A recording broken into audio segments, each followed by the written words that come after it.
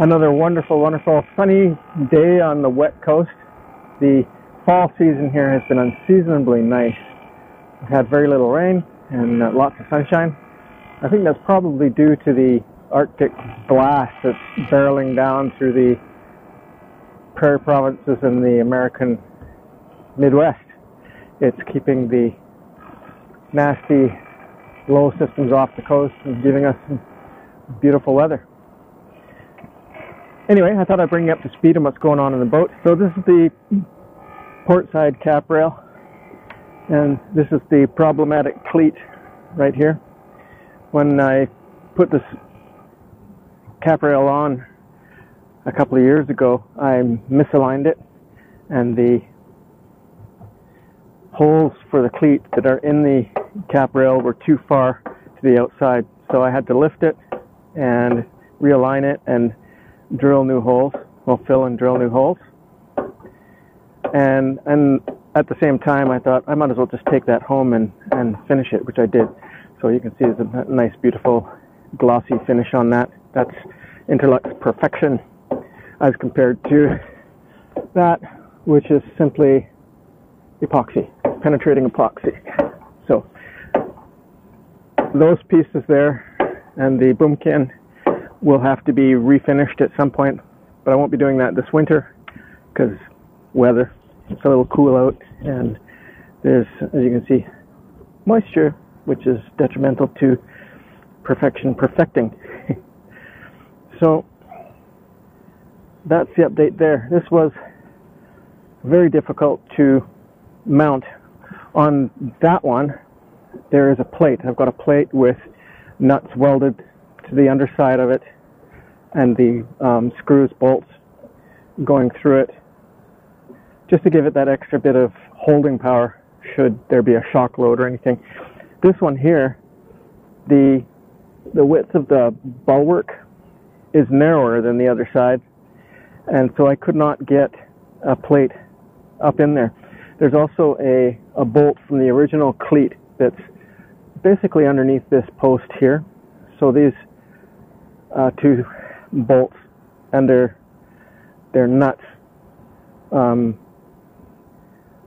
are ob- obstructed by that bolt that's coming down there, and there isn't enough room inside here to get a tool up, like a vice grip or a hammer or anything else, to knock that out. So it's also a problem just trying to get my hand up there to put any kind of a fastener on the back of these things.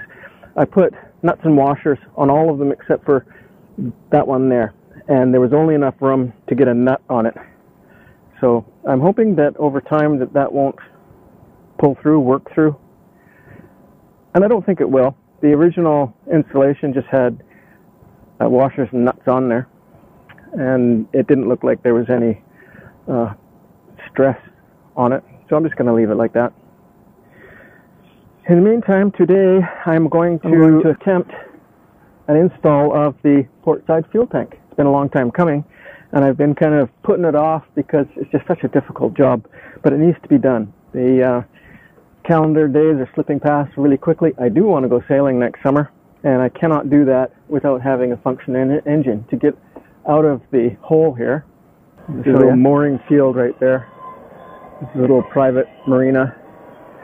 But to get out of here, this is actually a river, and I need to be able to navigate the river, and I can't do that without a motor.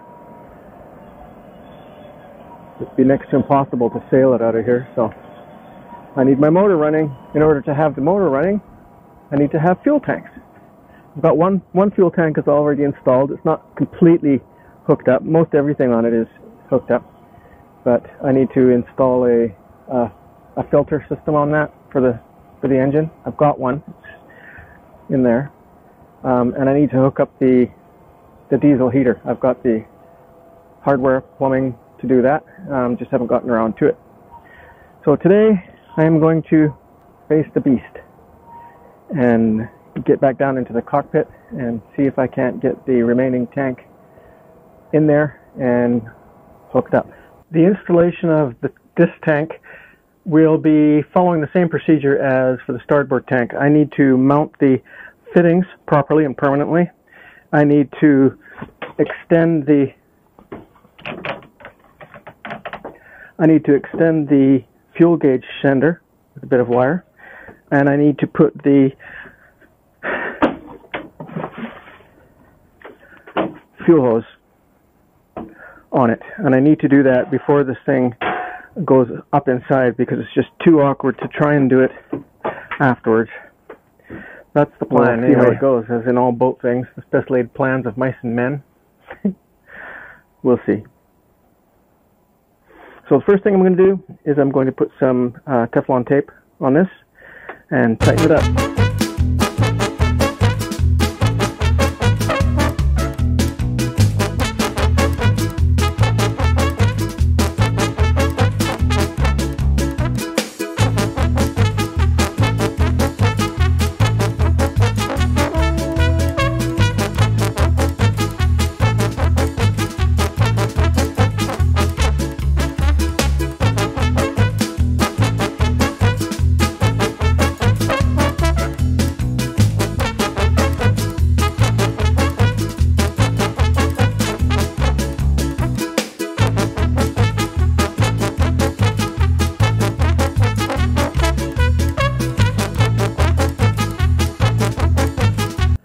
Part of getting the fuel tank back in is to repair a job that I've already done. The little rubber mats that I glued into place to go underneath the fuel tanks, uh, I put in with contact cement, and three out of five on the port side have come out. The uh, glue didn't hold. So I am currently re-gluing them with a different product. I'm using um, S3 Systems epoxy. And I think that should probably hold it real good. Um, unfortunately, that means that I might be having some issues getting the the tank installed, but we'll see. I'm going to put them in anyway, and then go ahead and try and fit the tank. And if it's going to be problematic, oh well. I have the uh, fuel sender wire connected and extended, and now I'm going to put the fuel hose on.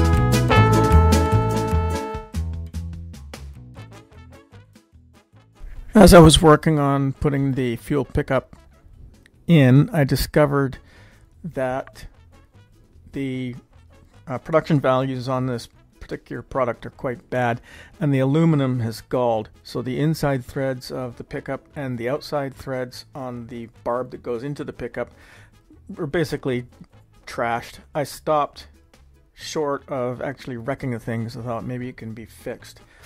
Uh, at in the next video, I, I uh, talk about either replacing it or repairing it, and we'll leave that as a little mystery for the next video to see what happens there. Meantime, fair winds, following seas, God bless.